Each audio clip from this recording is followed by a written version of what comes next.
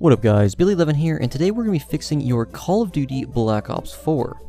This video will be relevant to you if you are facing any of the following error messages. First off, we're going to be looking at error code BLZBNT BGS000003F8. if you have a VPN, try connecting somewhere relatively far away and playing with that on. I'm in Vegas, and by using a VPN located in New York, this error message went away and I received a different one instead. If not, try switching to another region in the Battle.net launcher. If it works somewhere else, you should be safe to assume that it's a connection issue and not a hardware issue. Lastly, open up your control panel and go to Network and Internet. Then, Network and Sharing Center. Then, change adapter settings on the left hand side. Find the internet connection you're using, right click on it, hit Properties, look for the Internet Protocol version 4, TCP slash IPv4, click it, then enter Properties.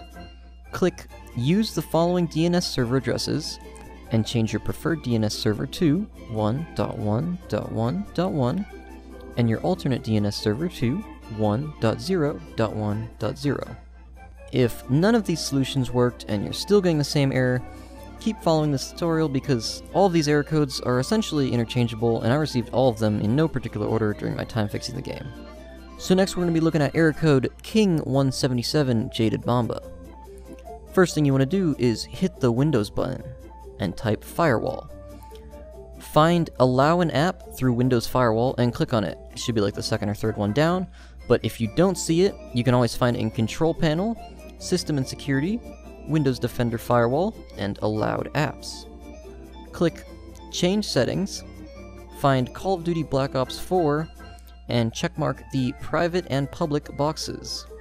If it's not there, click Allow another app and set the path to Black Ops 4, which by default should be C Program Files 86, Call of Duty Black Ops 4, and Black Ops 4.exe.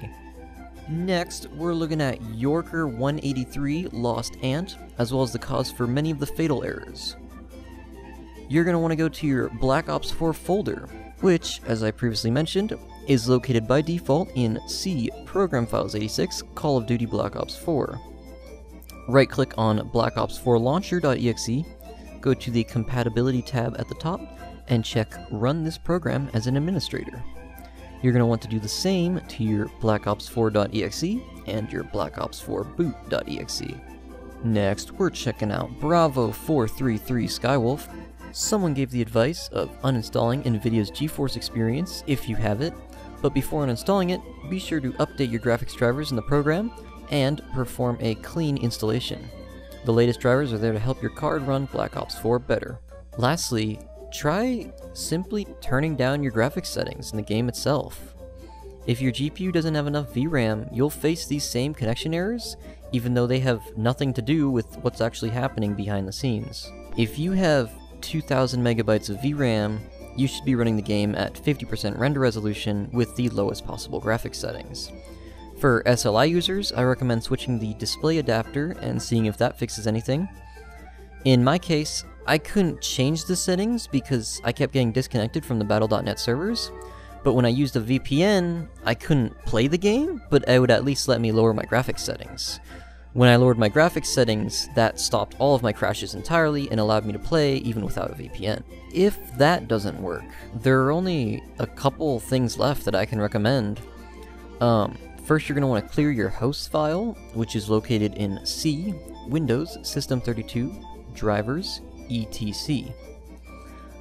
Basically, IP addresses uh, that you place in the host file will be blocked by Windows, um, and it should look like this by default, but if you pirated some programs or blocked Spotify ads, for example, it will have entries in it.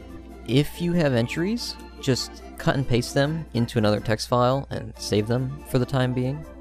Next, you're going to want to forward your ports. There's a different process for this for every modem, but I put in the description a link telling you which ports to forward for Black Ops 4.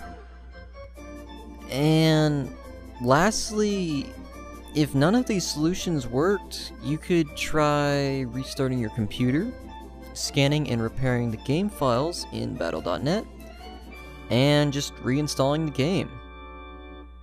If it still does not work, I suggest using the link in the description, creating a ticket, and refunding the game.